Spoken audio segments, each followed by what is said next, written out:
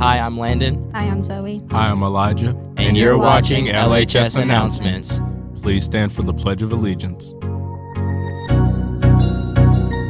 Attention, salute, pledge.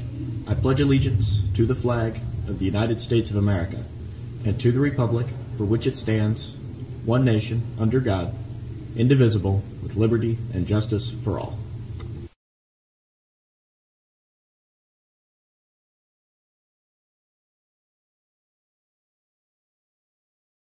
Good morning, Redskins. Take two here. I hope everyone's had a great morning so far. Here are the news and notes you need to know for today, Tuesday, November 10th. First of all, seniors, class of 2021. Roane State would like to give you a free Loudon High School class of 2021 t shirt. Please go to the counseling webpage, and you can find that by going to the LHS website, then hovering over academics, and go to counseling from there, and it is on that page. Follow the link there to sign up for your free t shirt. The deadline is tomorrow. This is for seniors only, guys. Boys interested in playing soccer, your grade and behavior reports are due to Coach Hughes by today at 320. Teachers, the soccer coaches, and I thank you for any help you can provide in keeping these students accountable, accommodating them on getting on track or staying on track with their academics and behavior. We certainly appreciate that, and that goes for all of our student athletes and students.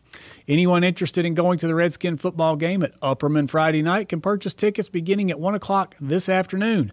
We will post a link to that address in which you can purchase tickets on all LHS social media outlets when they are available. Remember, for the rest of the playoffs, tickets may only be purchased online. There will be no availability to buy tickets at the gate. If interested in going, make sure to get those tickets early. Upperman is drastically limit- limiting attendance for this game. All right, everyone, have you made the decision to do your part? Hold up your end of the bargain and get through this thing together.